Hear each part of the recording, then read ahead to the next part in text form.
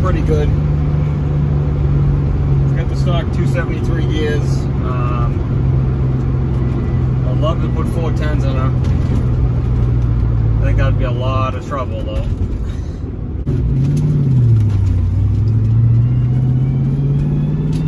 Here we go. First gear at 2500.